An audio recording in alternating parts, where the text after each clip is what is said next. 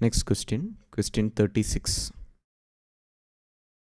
A gardener has 1000 plants. He wants to plant them in such a way that number of rows and number of columns remain same. What is the minimum number of plants that he needs more for this purpose?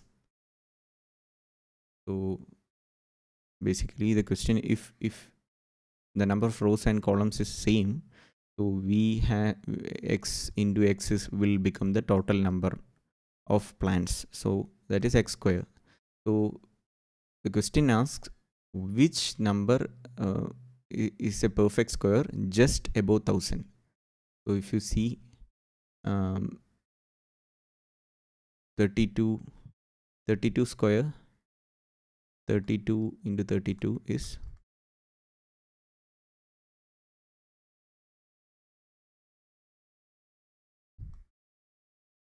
thousand twenty four.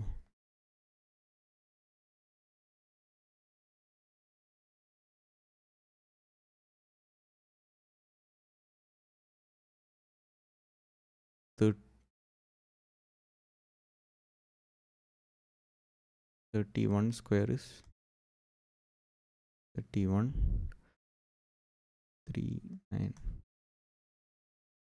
991 so if you see 24 more are needed uh, to get the perfect square above 1000 so he already has 1000 so to get 1024 he needs 24 more plants so 24 is the correct answer. Solution to question number 36 so why 32 i took 32 30 square is 900 so it will be either 31 or 32 i just checked both. So in case if you know the perfect squares of these then you don't need to calculate all this. But yeah. So solution to question 36 is b